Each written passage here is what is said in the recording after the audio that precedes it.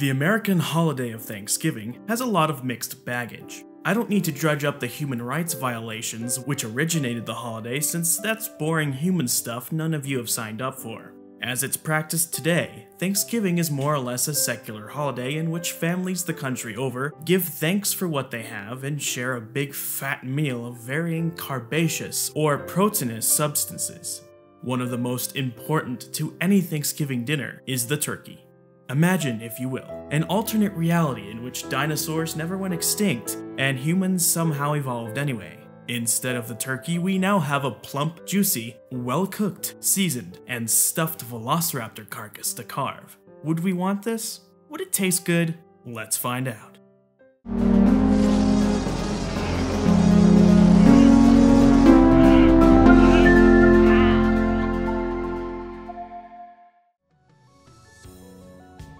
Many of us have wondered what dinosaurs taste like. It's a natural thought to have. After learning about the beasts as children, and after reading about them in books, the next step from wonder and awe is the crockpot. Dino nuggets definitely play a huge role in this thought process. Many folks have thrown out this thought as pure nonsense and something not to be entertained, but where's the fun in that? The fact of the matter is, we already do eat dinosaurs. Since birds are dinosaurs, we've been eating them since the dawn of humanity. Your chicken nuggets, deep fried drumsticks, Thanksgiving turkey dinner, Peking duck, and more are all processed bits of dino. For this Thanksgiving themed video, I wanted to find the answer to the question of what the most turkey like dinosaur would taste like. If we're going off looks alone, I think Therizinosaurs, Oviraptorosaurs, and Ornithomimosaurs would be the most turkey like. However, how could I not start off the culinary journey through paleontology without first starting with either the tyrant lizard king or the six foot turkey? Instead of the ostrich, sloth, or parrot dinosaurs, we'll be zeroing in on the tenderloins and breast meats of the swift thief, Velociraptor. Before we can configure the hypothetical scenario in which we've got ourselves a Velociraptor carcass, we need to understand what makes meat well, meat. This is where biology, culinary science, and anatomy come into play. What makes meat meat? The stuff we call meat consists almost entirely of the muscles of animals. Some weirdos eat the organs and soft tissues too, but let's stay away from them and give them the side eye. Muscles are composed of fibers bunched together into rope-like strands. At the smallest scale, it's just one fiber. One fiber is bunched into a group of fibers. Those groups are bunched into bigger and bigger groups. At the largest naked eye scale, they just look like blobs of yummy flesh prime for the grill or barbecue. Meat itself can be broadly categorized into two groups, light meat and dark meat. The distinction between light and dark meat goes beyond their shades. Light meat is made of a muscle type known as fast twitch muscle fiber. Fast twitch muscle fibers, as their name suggests, help an organism move very fast in a very short period of time. They snap into action from a point of inaction. Myoglobin is a protein in the muscles that binds with iron and oxygen, and is responsible for the color of flesh. The fast twitch muscle fibers have a low amount of myoglobin, resulting in the light pink color and the term light meat. In contrast, dark meat is composed of slow twitch muscle fibers used for sustained use. They have a much higher myoglobin content and are therefore much darker in shade and redder in color. Vertebrates have different types of muscles depending on their lifestyle. Mammals tend to have high amounts of dark meat, while reptiles, birds, and amphibians tend to have high amounts of light meat. Obviously, this isn't always the case as different groups have adapted to different lifestyles. To figure out what muscles Velociraptor had, we need to compare it to its living cousins and descendants. The more, the musclier. Velociraptor is a dromaeosaur. These dinosaurs belong to the Maniraptora group, which contains the Tyrannosaurs, Ornithomimosaurs, Oviraptorosaurs, Therizinosaurs, and survived the end Cretaceous mass extinction in the form of birds. In fact, the Dromaeosaur group is derived from the lineage which directly led to birds, making the thin gray line that divides them thinner and grayer. Velociraptor is a dinosaur, which also makes it an archosaur. Crocodiles are the cousins of the dinosaurs as they too belong to the Archosauria. However, they are removed by many millions of years and exhibit completely different habits to most known extinct dinosaurs. Therefore, the best living muscle comparisons are birds, followed by crocs. Birds, being about as diverse as the entirety of the Dinosauria clade, have different kinds of muscles in different parts of their bodies, and those muscles differ dramatically from one species to another. Dark meat is used by birds for sustained activities, like walking for ground birds and flying for seabirds. Light meat is used by birds for quick burst activities like flying. A chicken, for instance, has a lot darker meat in the legs and neck, but light meat in the breast and wing. Ducks and geese, on the other hand, have darker meat in their breasts and wings since they tend to fly more consistently for long periods of time. Crocodilians are oddballs in barely being reptiles at all. These archosaurs can change their metabolisms and go many months without food. They have a mix of dark and white meat throughout their bodies, with darker meat in the limbs and torso, and light meat in the tail and neck. Now that we have a good comparison, we can look at the Velociraptor skeleton to hypothesize what muscles it had. Velociraptor didn't have the extremely deep sternum birds use to fly. Though it wasn't capable of powered flight, Velociraptor and its relatives were far more developed in that part of the body than other theropod dinosaurs. Their shoulder girdles were large, strap-like, and probably connected to rather large blobs of muscles. A specimen of a velociraptor arm preserved a series of divots in the wrist bone. These divots are called quill knobs, and most living birds have them. They help to anchor the hard quill part of the major flight feathers to the arm. The presence of these knobs in a presumably flightless theropod means Velociraptor was using expansive feathery wings for something. This evidence means it's probable Velociraptor had big blocks of muscles in the arm and chest. The first description of Velociraptor characterized the remains as belonging to a fast raptorial critter that ran around on the ground to snap at small animals or to attack larger animals with quick scissor-like bites and slash with hand and foot. This was confirmed with the discovery of a rare snapshot in time. Mongolia's dueling dinosaur specimen consists of the skeleton of a velociraptor and a protoceratops locked in combat, exactly how they died. One arm of the theropod is clenched between the shear-like jaws of the protoceratops, while it has one of its feet jammed into the gut area of the herbivore. Clearly, Velociraptor was an active, warm-blooded, feathered theropod dinosaur that could likely complete long bouts of sustained activity, as well as short, quick bursts. Therefore, we can be reasonably sure Velociraptor had blocks of dark meat, as well as light meat. The arrangement would probably be somewhat similar to the wild jungle fowl from which humans have derived the domestic chicken. Dark meat in the legs allowed sustained speeds for chasing down prey, and for casual ground patrol. The foot claws of Velociraptor, as well as other dromaeosaurs, are capable of extreme flex and strong grip. These capabilities suggest they were also adept climbers. Slow twitch muscle fibers would be of great use in climbing up trees and running down logs based on a large, scoop-shaped pelvic girdle, muscle scars present in the leg bones, and the width of the bones at the base of the tail, we can be reasonably sure these dinosaurs had large blocks of muscles in the calves, thighs, and base of the tail. A combination of slow and fast twitch muscle fibers therefore may have connected the thighs to the body and tail. Most tailed tetrapods have a muscle called the caudofemoralis, which connects thigh to tail. This muscle helps in retracting the leg when taking a step. It's super obvious if you watch a gator or lizard walk because you can see the tail move in the direction of the leg taking the stride.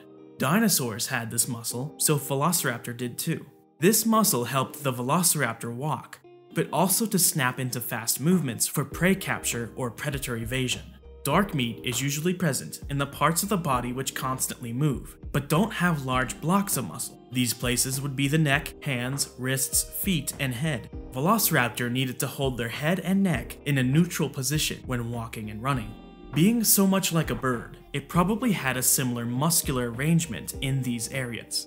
Now that we've hypothesized the placement, kind, and amount of muscles Velociraptor had, we now need to figure out how they tasted and best ways to serve it. Taste of Raptor the taste of meat depends on a few key factors. the animal's diet, ecology, health, genetics, and what cut of meat you eat. The distinction between light and dark meats also encompass a difference in flavor. When it comes to bird flesh, the light meat is also lighter in flavor. The light meat is mild and lean. The dark meat, in contrast, is more flavorful and juicier. This is a general rule, but it gets twisted when the other factors of meat flavor come into play. The dark meat of mammals is even more flavorful and juicier, with larger amounts of fat overall than bird flesh. The more myoglobin in the flesh, the more flavor there is. Diet also plays a key role in the flavors of meat, sometimes resulting in subtle notes or putrid scents. You could be relatively confident a critter living its entire life in the muck at the bottom of a pond, eating worms and scum, is going to smell and taste just about as unappetizing. Ecology and diet are interconnected cogs in the machine of nature, and so they are interconnected processes which result in different meat flavors. On the whole, predator meat tastes gamey and gross, while herbivore meat is less gamey and even tasty. Chicken and turkey meat taste great, but hawk or vulture meat is putrid, gamey, filled with bacteria and parasites, and has the distinct stench of death and sulfur. Ducks are fattier, greasier birds, since they eat a lot of pond organisms. Seafaring birds, which consume large amounts of fish in their diets, contain the distinct aroma of seafood in their flesh. Bad luck to kill a seabird. A bird that eats mostly crustaceans would taste better than a bird that eats mostly fish. Birds that consume grains, seeds, fruits, and veggies are going to taste way better than the others. This is why farm raised turkeys, chickens, cows, and pigs are basically the main protein source for the world. I mentioned genetics as another factor in meat flavor. This has more to do with what kind of animal we're talking about. Birds have some of the most protein rich meats due to the amount of work they do throughout their lives running, jumping, flying. Mammals tend to have tastier meats due to a higher amount of both myoglobin and fat. Fish is such a varied category that there's a fish for every type of meat and meat flavor, with active, protein rich fish like tuna, or inactive, fat rich fish like sardines. Frog legs are made of a similar flesh to the white meat of birds, thus the it tastes like chicken idiom. Health is the last factor I mentioned, and the easiest to sum up. A healthy, virile animal is going to taste way better than an old, sickly one. Let's take a look at how these factors might affect the flavor of a velociraptor. We know what types of meat they may have had. We've got the tastier dark meat and the milder light meat. Velociraptor is known far and wide as a voracious raptorial predator, and the fossil evidence bears some of that out. They were swift, probably mildly intelligent, and could snap up prey varying from bite-sized to a little larger than itself. It originates from Mongolia at a time when it was much wetter than today, but still marked by vast deserts of dunes. This sort of lifestyle means these guys probably didn't taste all that great.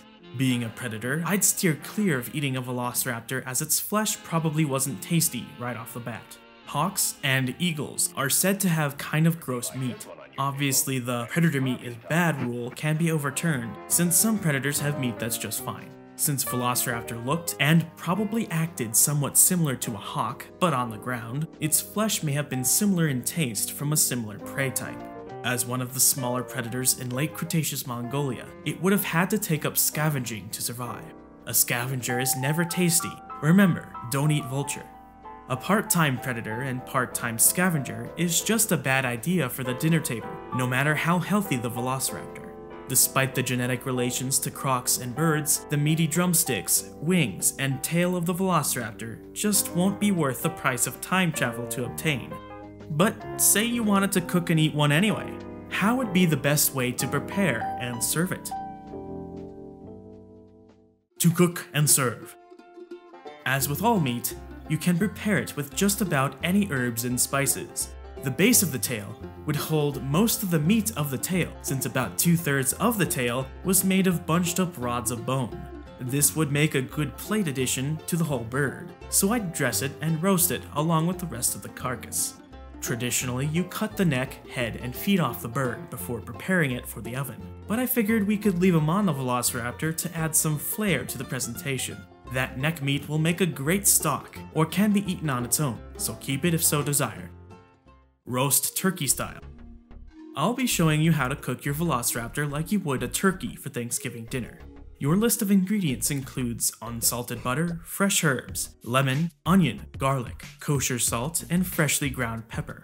Don't get any of that pre-ground stuff. Grinding your pepper results in a fresher, stronger taste, plus you can set it at whatever size ground you want. I prefer medium, but it's up to you.